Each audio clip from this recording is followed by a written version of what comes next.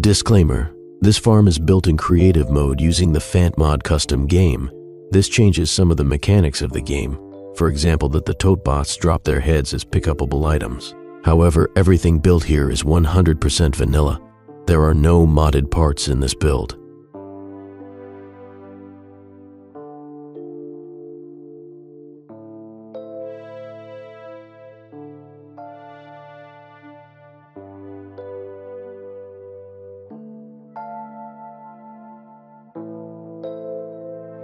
This is a three-phase programmable auto farm. With it, I can program which seeds I want planted for the next three cycles. It's composed of three main parts, the planting machines that contain every type of seed in the game by pairs.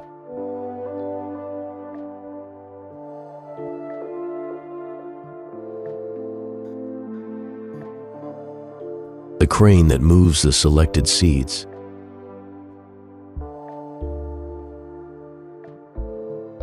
And the farming vehicle that does the planting and collection.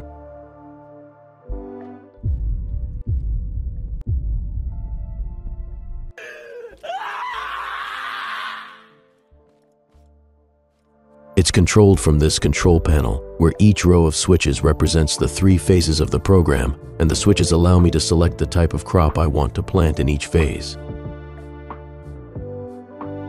I start by selecting the seeds I want for each phase. Then I turn on the kill switch and press the green button to start the program. That triggers the crane to start looking for the selected seeds.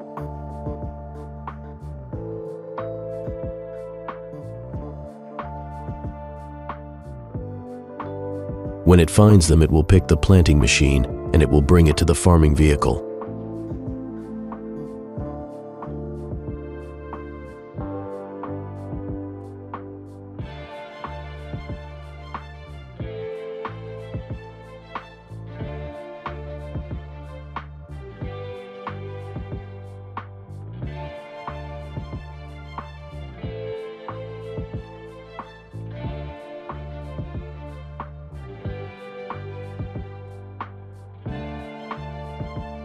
When the machine is placed on the vehicle, it will trigger it to start the planting cycle.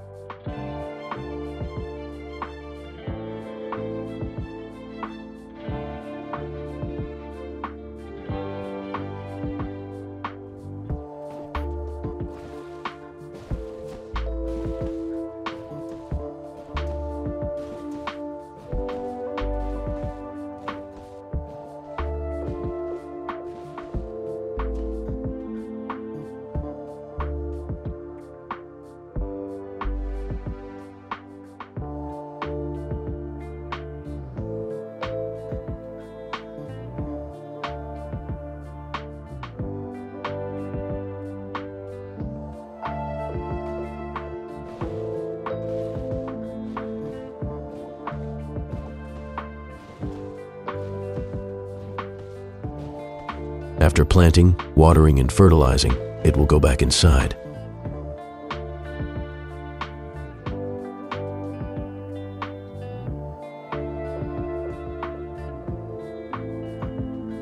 On its way back, it will make a stop to refill the water containers.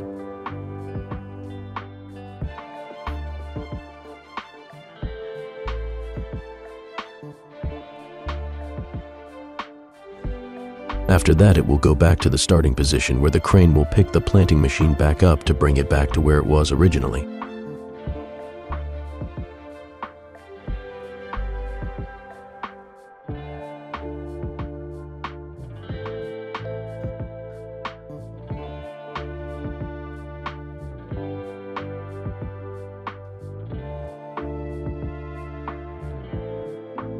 When the planting machine is placed where it was, the crane will start the phase two of the process and look for the next planting machine.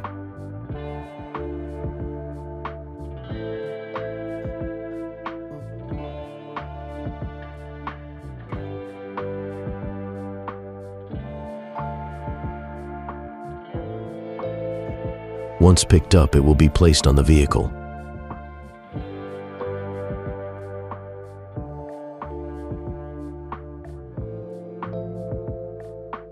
At this point, the vehicle will wait for the crops to grow. When the sensors outside detect the grown plants, they'll give the signal to the vehicle to collect and plant the next crop.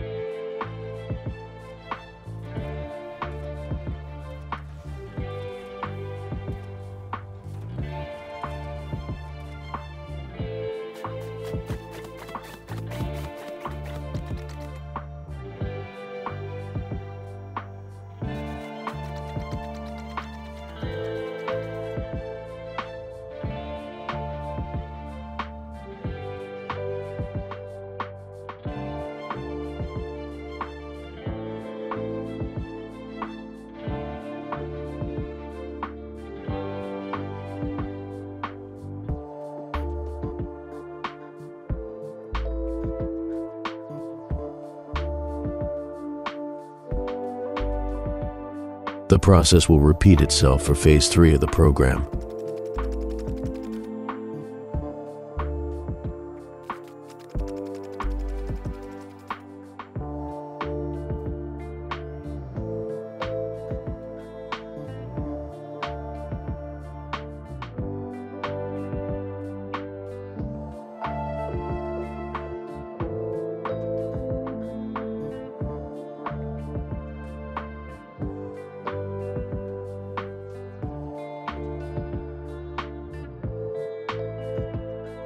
When the last crop has been planted, the vehicle with no planting machine on it will wait to collect the last crop without planting again. This is where the cycle is over and the machine will wait to be emptied so it can go again.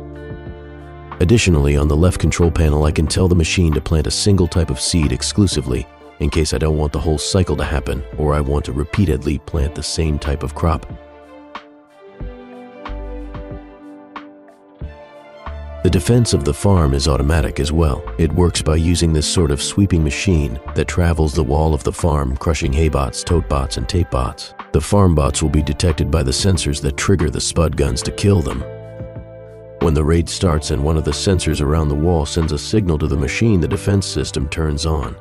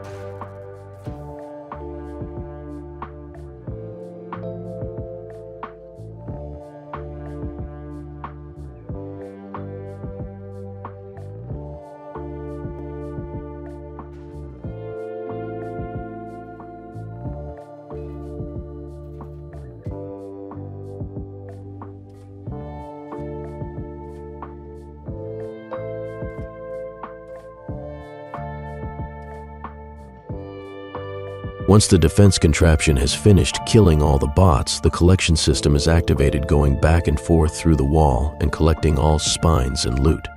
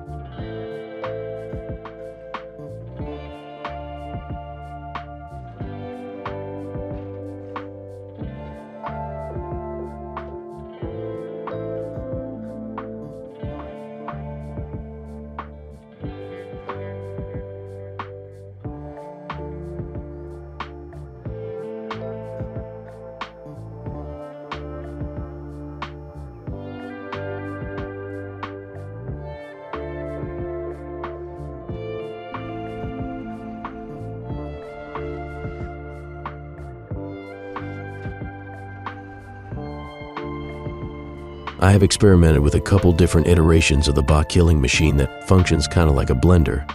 The machine brings the bots in with the rotating wedges and kills them with saw blades. However, there were some problems with this. mainly that the FPS dropped to 10, but other than that, with the haybots and totebots being scared of the saws, the machine had to be faster than them to bring them in, which proved to make it unreliable. And apart from that, the explosions from the farm bots often broke the saw blades. Thanks for watching, and remember to subscribe for future content.